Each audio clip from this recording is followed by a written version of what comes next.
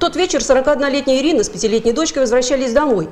Было около семи, темно и немноголюдно. На встречу попался мужчина. Секундная встреча. Ирина и предположить не могла, что она перерастет во что-то большее, что незнакомец вернется, пойдет за ней следом, что у них будет общая история, про которую напишут под обложкой уголовного дела. Приставил мне нож к горлу, ребенок это все увидел, начала кричать.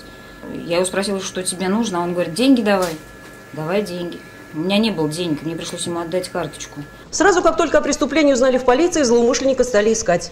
Район блокировали, на месте происшествия отработал кинолог с собакой, но задержать налетчика по горячим следам не удалось. В течение нескольких часов в отдел доставляли 16 человек, подходящих под описание указанной потерпевшей. Надо признать весьма условное изображение с учетом всех обстоятельств темного времени, пережитого жертвой нападения страха. Но буквально через день все огрехи в портрете предполагаемого преступника были устранены.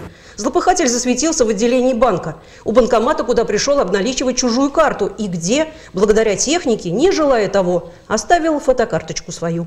Деньги с карты снял. Сколько? 4900. Далее. Карту сломал, выкинул.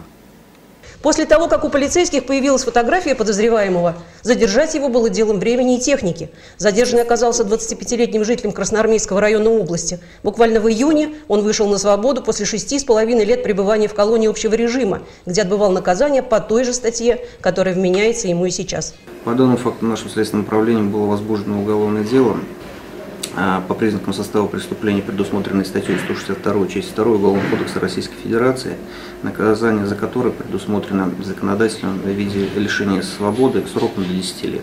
Сам сиделец со стажем, несмотря на незавидные перспективы, между тем спокоен. О причинах, побудивших к совершению преступления, говорит обыденно. Не было денег, вот и вышел прогуляться. У следствия есть основания полагать, что улица Днепропетровская, где он встретил Ирину, не единственный маршрут его криминальных прогулок. Если вы пострадали от этого человека, но по каким-то причинам пока не обратились в полицию, сделайте это.